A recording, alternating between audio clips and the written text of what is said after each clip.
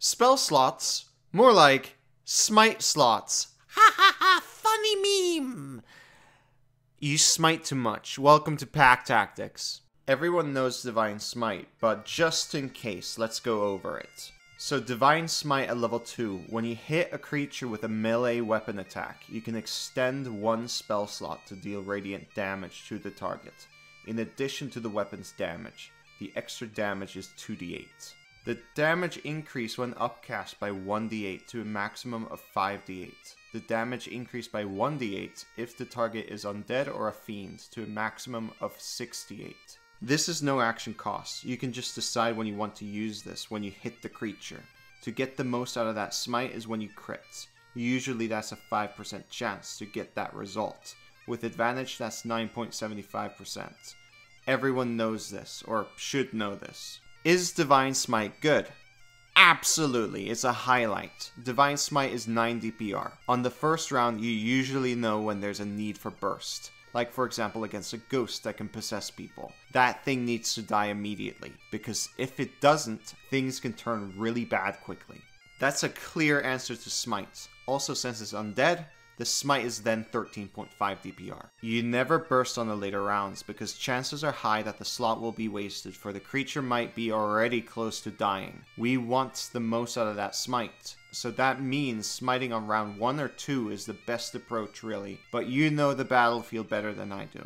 Other than that, when burst isn't needed, you shouldn't be smiting every round. You should be smiting on crits most of the time when they happen to appear. Should you be smiting on every crit? No. You don't need to smite on round 6 crit, for example, after the team's been focus firing on that single creature. It's overkill, and again, you'll waste a slot. I think experienced players already know this, but then they end up being too conservative with the slots, and that's not good either. The crit might not even happen this session. A 5 or a 9.75% crit chance with advantage is too low. Optimization wise, you can get that crit chance higher. Like, for example, if you now crit on a 19, that means it's a 10% chance, and with advantage, it's 19%.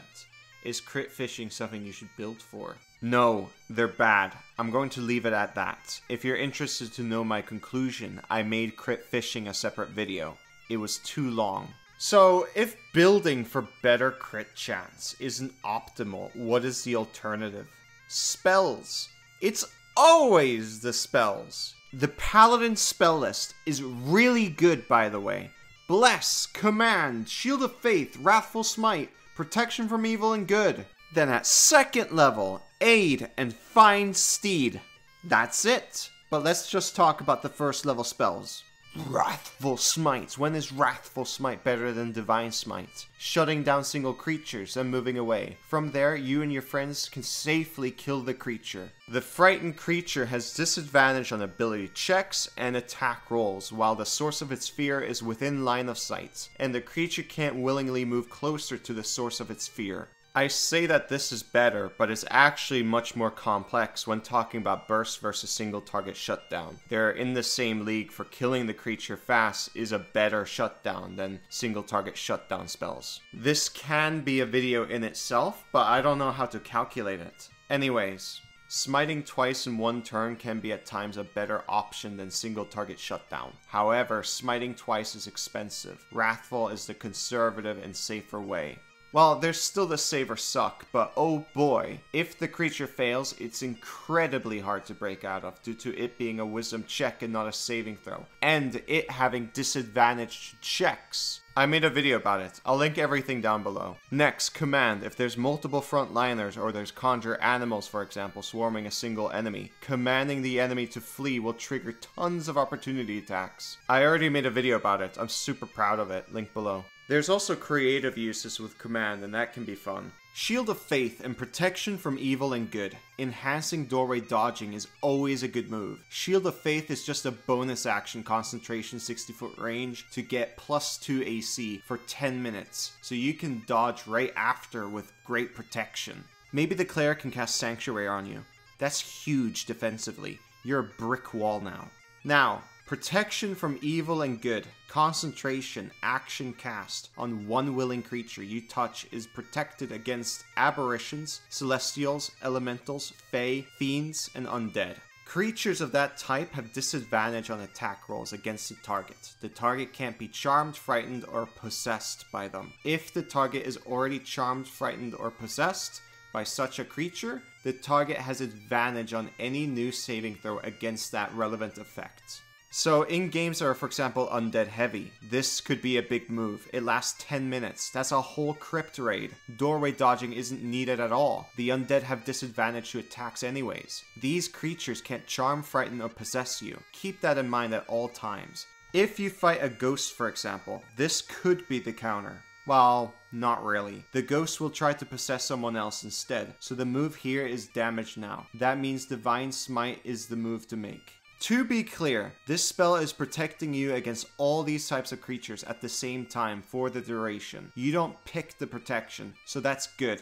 I think you get the point. Bless. I saved the best for last. In damage, Bless can outperform Divine Smite, but that depends on who you bless. Smite has a big leg up, and that is Smite is better at damage now rather than damage later. Bless is an in-between damage now and damage later effect due to buffing three friends. What I mean by that is the initiative order might not be in your favor. I made a claim that Bless cannot perform in damage, so let's create a paladin. He's a second level Vooman with Polearm Master. He's got 16 strength and is wielding a shield and quarterstaff. But Kobold, why a quarterstaff? Because it's the best Polearm Master weapon. It works with dueling fighting style, it's an arcane focus, and you can hold a shield with it, so there's no need for Warcaster.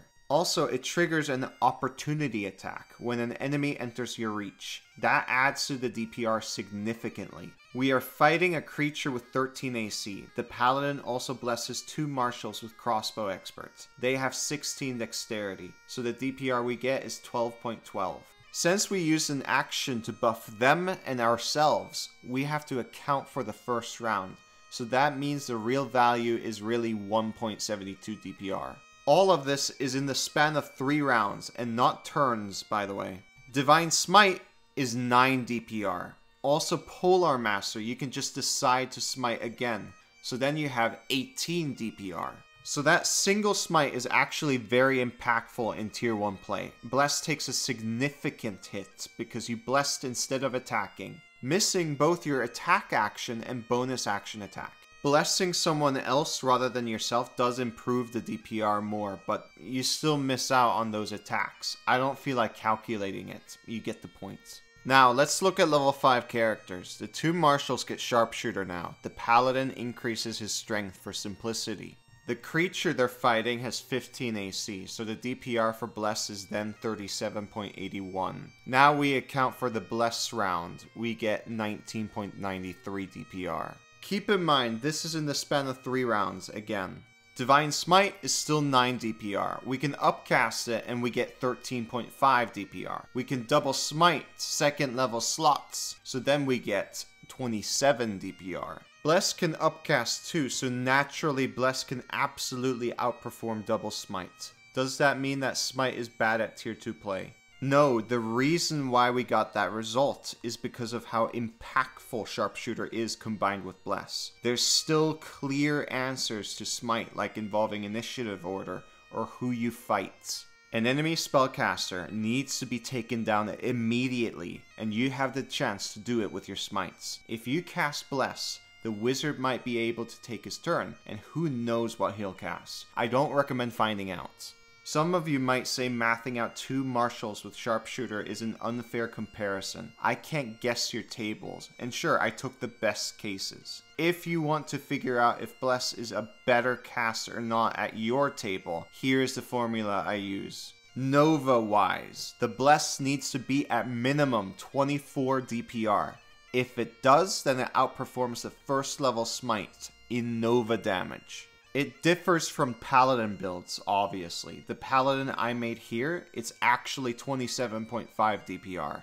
How am I getting 24 DPR? I just made up a base of 15 and then added a 9 from Smite. The 15 is just what I personally expect players' DPR is once they get extra attack. It's close to what Warlock baseline is. It's quite a high bar actually. If you calculate three fifth level characters with 16 dexterity, sharpshooter, and crossbow experts, you'll get 18.56 DPR. This means that Bless doesn't beat Smite in damage now in tier 2 play, even with the best builds, but on round 2, it does more damage than Smite, obviously. If you get the option to pre-cast Bless before combat, then it's way more valuable than smiting. That's it. The thing I want you to get out of all this is use both spells and smites. Fights are more complicated than just everything being smite slots, especially at higher level play. This was an interesting video to write about. I learned a lot of things and there's more to find, like Wrathful Smite versus Divine Smite for example. When I was writing the script for this,